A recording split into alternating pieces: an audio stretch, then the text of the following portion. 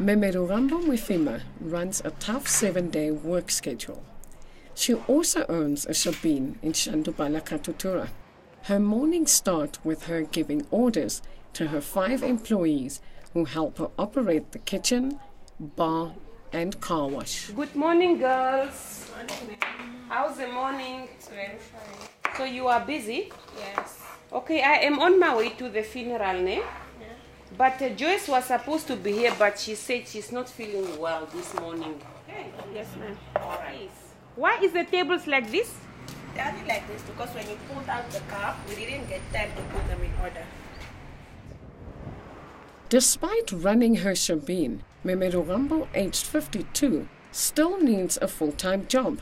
Employed at NHE, where she started off as a cleaner, earning only $45 a week.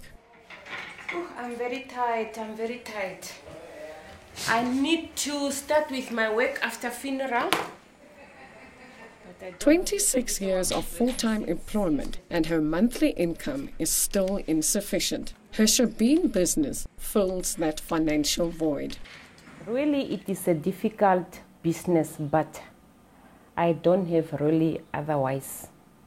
I must try my best. It was 1997, I remember well.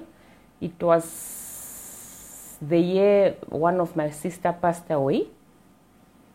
So, amongst my brothers and sister, I was the only breadwinner since birth. We were born nine. Today we are only two. As a single mother, she has raised her four daughters herself, and only Ndapanda, her youngest, still lives with her. You see, it was very, very difficult, but I could not keep them home while I'm having, while I'm running a shebeen. All of them, I put them in the hostel. The house have become too busy, and the environment have become for me also so difficult. I could not keep all my girls among customers visiting the bar and so on. Despite her busy schedule as a businesswoman, her daughters are still her first priority.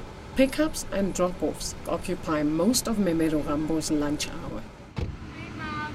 Hi, how are you? Fine, and you? I'm fine. Why are you late today? I'm sorry, I'm asking for apology. Okay, it's fine. Okay.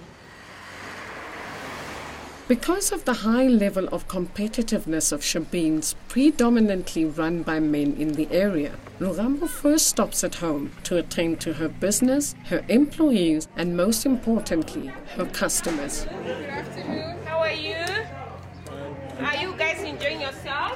For the rest of this afternoon? Yes. Things around her shebeen are not always as she wants them to be, often with dire consequences for her employees. Why are you not here? Are you not working?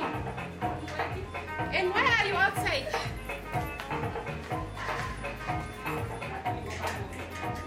Oh. Why this are packed uh, here now?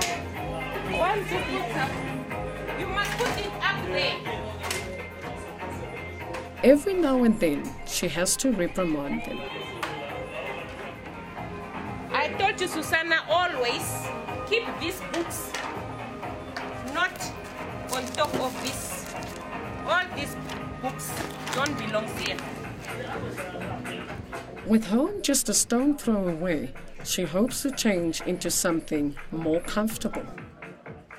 After many hours of work, her duties just never Oh, end. I'm very tight.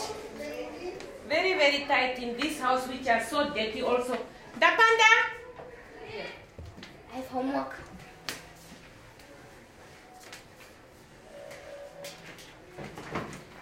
I am very tight. Can you please switch on the TV so that I can watch a little bit? Why? But you, why can't you reach the remote? Memerugambo pushes her children to study hard to create the opportunities and life that she never had. You promised to do some few works today. But I was tired. Personally, You was there. I had to make Yeah, I do effort summaries to every succeed. day.